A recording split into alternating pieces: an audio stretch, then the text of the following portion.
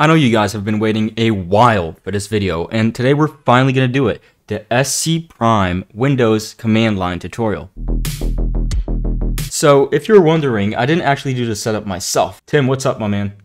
What's good, smoke 'em? Okay, Tim, so what do you say we jump into it? Let's jump right into it. What you're going to want to do is head to the SC Prime docs. The link will be in the description and check the provider requirements first. You can run this on either a Windows or a Linux system. We're going to be running it on a Windows system for this tutorial. But if you guys are interested in a Linux system, we could do that in the future, or you can buy one of the Xa-Miners. The requirements are pretty simple. 2 to 4 CPU cores, 4 gigs of RAM, and at least 500 gigabytes of storage. Whether you're using an SSD or HDD is not relevant, uh, and internet speeds are important, but most of you guys should be fine. Next thing you guys are going to want to do is click on Windows Setup at the left and go to the SC Prime website. For this tutorial, we're going to be using the command line version, so click download for Windows and it should start downloading. The reason we're not using the UI version is because as far as I know, when I set this up for Smokem, the, the UI version had a couple of bugs and was annoying to set up and the command line version is just more stable. Net Prop PC's IP address is static. This is important because if you're using a dynamic IP, every time your IP changes, you're going to have to reset your SC prime. So what you need to do is just type cmd and click command prompt. Then type ipconfig and you should see your IPv4 address and your subnet mask. Now you need to go to your ethernet properties. So click search for ethernet and you should see ethernet settings. And then top right click change adapter options. Then go right click on ethernet and go properties. Then search for Internet Protocol version 4. On the bottom right, click Properties. Now you're going to want to say use following IP address and take your IP address from your command prompt and paste it in. The last digits you're going to want to change to something like 200. I suggest just use a big number, 200 or 250 should be fine. And your subnet mask, just copy paste it from your command prompt as well.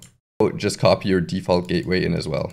Now, for the DNS, click use the following DNS server addresses. And I'm just going to use the default Google DNS, which is 888888 and 8844. And then click OK and close, and it should be set up.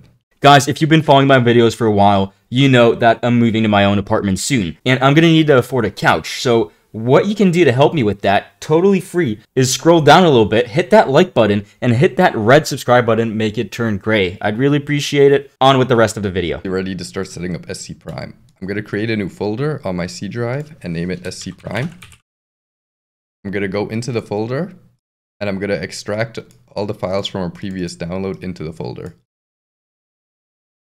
Now I need to open a new command prompt. So I'm going to search for CMD and click on command prompt. I'm going to navigate into the folder I just created. So I'm going to type cd, then I'm going to type c because it's on my C drive, double dot, dot, dot backdash, sc prime. I'm going to hit enter and you can see I'm in my sc prime folder now. Now I'm going to type spd and sc prime is going to start downloading the blockchain. This may take a while, but you just have to be patient and wait. Eventually it will say finished full setup and then you can move on to the next step. Startup finally finished. It took 5,000 seconds, which is an hour and a half. So if you guys think it's broken, it's probably not. You guys just gotta wait. It will finish at some point. What's important is this command prompt always has to be running. So never close this, just keep it running. If your SC prime is down or something, the easiest thing to do, which will probably fix it, is to just restart this again. A side note on the docs is also that you can change your metadata folder. I didn't do this. I don't recommend doing this. The default location should be fine. It's just if you don't have a lot of space on the drive where you're running SC Prime, you might want to change it. Next is set up our wallet. For that, open another command prompt. So write cmd and open a command prompt.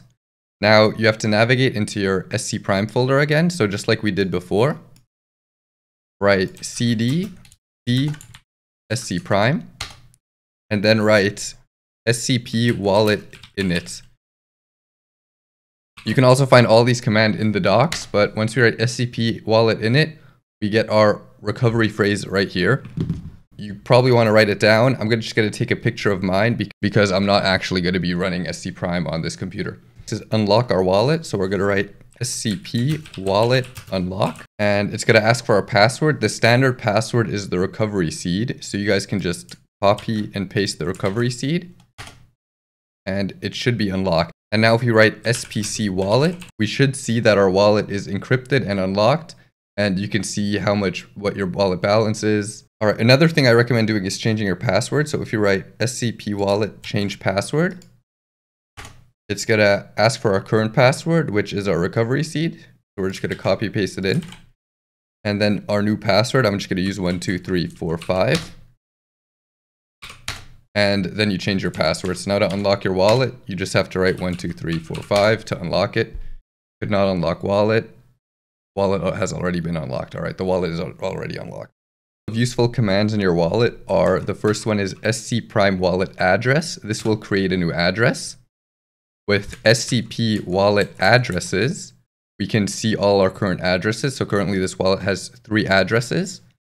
And with the command SPC wallet send SC prime coins, and then you add the amount, SCP, and then you add the address, you would send funds from this address into a different address. The last useful command is SCP wallet transactions. And this one will let you see all the transactions on this wallet, which is currently no transaction. Mm, if we just write SPC wallet, we see our wallet status and our balance. The thing you guys are going to have to do with your wallet is obviously get funds in it for collateral. So you would buy SCP on SouthXchange and then send it to one of your wallet addresses. And then you can check using SCP wallet when the funds arrive and you will see them in your confirmed balance. I'm not going to do this for this wallet because I don't plan on running SCP on this computer. Okay, next up, we're going to add the folders where we actually want to store the SC prime data. So for that, go into the drive where you want to store the data and create a new folder and name it something like data one. If you have multiple drives or you have one very large drive, like for example an 8 terabyte drive, you want to create multiple smaller folders, so something like 4 times 2 terabyte folders. So I'd create four folders, data 1, data 2, data 3, and data 4. You also want to have a little bit of free space on your drive, so don't actually allocate all the space to SC prime, always leave a little a little bit of a buffer. So to tell SC prime to use this data 1 folder, what we're going to do is we're going to go back into the command prompt and we're going to write spc host folder add, and then the path to the folder. So for me, it's D data one, and then the amount of gigs we want to store. I only have like 200 gigabytes of free space on this drive, so I'm going to do 200 gigabytes. This may cause problems because the minimum requirement is 500 gigabytes, but for the tutorial, I can only do 200 right now. So hopefully it works. But anyway, for you guys, you should have more than 500 gigabytes and this shouldn't be a problem but it says folder added data one, so we're good. And it also created metadata in the folder. Do the storage provider settings. For this, we're just going to use the recommended settings because that way we also get incentives. So the first one is the max duration. So I'm going to take SPC host config max duration and the recommended is 13 weeks. So I'm going to do 13 weeks. You guys can also see the recommended settings on the provider storage index in the SC Prime docs. Then we're going to change our collateral. The collateral is recommended to be the same as your storage price. I'm going to go with 3 SCP. And I'm also going to set my minimum storage price to 3 SCP. And then our download and upload. And then our download and upload is recommended at 1 SCP. You can also set this to 0.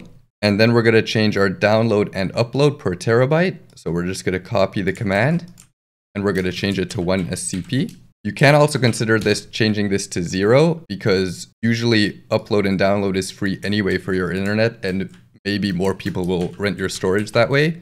You guys just have to test it out and try it, but I'm going to set it to 1 SCP for this video. Then we're going to change our collateral budget.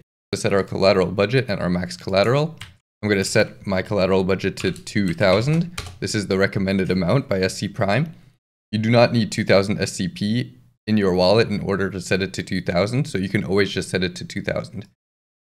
I'm going to set my max collateral to 50 because that is the recommended value. And now all the commands should be set up. The thing we want to set up is DuckDNS. What this will do is it will create a static external IP for you. And this will help because otherwise your storage provider will go down every time your dynamic IP changes. Now, most of you will have a dynamic IP. If you have a static IP, you don't need to do this. But we're just going to sign into DuckDNS. I'm going to sign in with GitHub. And we're going to create a new subdomain. Now, you can call this whatever you want. It doesn't matter. For this video, I'm going to call it SCP test. And I'm going to click add domain. SCP test.duckdns is taken. I will use SCP test 123 add domain. So now I added the domain right here. And now on IP chicken, um, you can check if it's currently using the correct IP address. And it is using my IP address, so we can move on. And just have to install DuckDNS on our computer. So at the top, I'm going to click on install. And then I'm going to pick Windows GUI.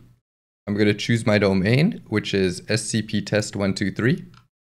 And I'm going to download the GUI right here and I'm going to download the zip. I'm going to save it. And then I'm going to execute the installer. I'm just going to go next, next, next, next, install, next, and it installed. Now I'm going to open it up.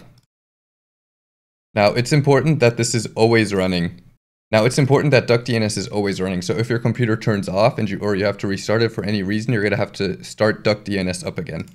We're also gonna have to update the settings. So I'm gonna open this. I see DuckDNS is running. I'm gonna right click and then I'm gonna click DuckDNS settings. And right here, you have to add in your settings. Now I already did this, but at the top, you just add your domain, which we picked on DuckDNS which is SCP test 123, and then you have to add your token, which you also see on DuckDNS right here. And once you do that, you click OK, and it says DuckDNS settings successfully validated and saved. What you guys are going to have to do is port forward the ports 4282, 4283, and 4285 on TCP. Now, this is going to be different depending on which router you have, but pretty much you guys are just going to have to log into your router settings and dig around a bit and you should see a port forward option somewhere. If not, just Google your internet provider, you'll find a tutorial somewhere. Drive so you can viewer because I'm not actually running SCP on my computer, so I don't actually have balance in the wallet. But this is the computer on which Smokem is running SC Prime. So we're gonna check if everything is set up correctly. So the first thing we would write is SCP, and we can see we are synced right now. We can also check SCP host, and we will see that we have 16 terabytes of storage and we see all our drives. So you can, make sure that you added all the right drives. And then you can check your IP config and make sure that the IPv4 address right here is the static IP we changed it to. Also, you can go to Can You See Me and check the ports so we can check if all our ports are open. So 4282 is open, is too slow, so only 4283, blah, blah, blah. 4283 is also open.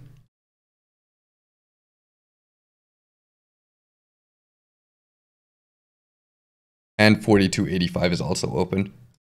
Also make sure you are running DuckDNS, and if all that is running, you're ready to start your storage provider. Is set up correctly, to launch your storage provider, you write scp host announce scp-smokem.duckdns.org and then the port is 4282. Obviously, the SCP Smokem would be whatever you set your duck DNS to. So it would be whatever you set your duck DNS to, .duckdns.org 4282. And then you hit enter, and it will submit, submit the host announcement to the website. And this might take a couple of minutes, but after, after a couple of minutes, you should see your host on the Grafana website and it will tell you if you have any errors or if it's running correctly.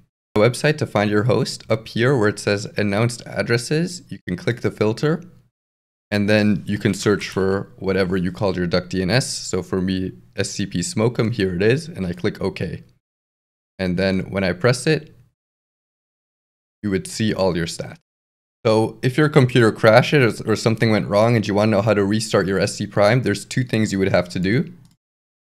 The first thing would be is to restart the duck DNS and check to see if all the settings are correct. And the next thing you would need to do is open a new command prompt again.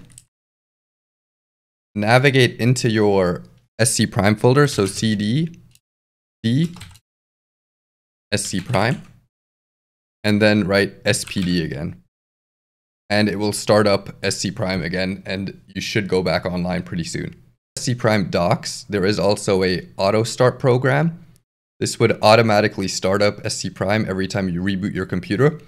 You would also have to set this up for Duck DNS, but if you have that set up, you would just have to reboot your computer and everything would start up automatically. We're not going to go over that in this tutorial. If you guys are interested, let us know. Okay, so guys, that was it. I hope that this was useful to you. Tim will be lurking in the comments if any of you guys need additional help. Tim, thank you very much for helping us out with this, bro. No problem, Smoko Man. And I'd really appreciate it if you guys went to follow Tim on Twitch and YouTube. We'll have both links in the description below, especially if you found that this video brought you any kind of value. Yo, can I do the like and subscribe? Yeah, sure. Let me do that part, bro. Go for it. Yo, guys, if this video was useful, wait, wait, wait, wait, like... wait, wait, wait, restart. One, two. Remember, guys, if this video was useful, remember to hit like. It helps Smokem a lot. Also, subscribe to the channel. More SC Prime videos coming soon. Yeah, that's pretty much it. That's pretty much it? That's pretty much it. Okay, guys, it was Smokem and Tim. We'll catch you guys later. Peace. Yo, you gotta do the peace, bro. Peace. this is omega cringe, dude. I'm turbo cringing right now, bro. okay. Okay. Um I'm gonna, I'm gonna just do a quick segment about sponsorships.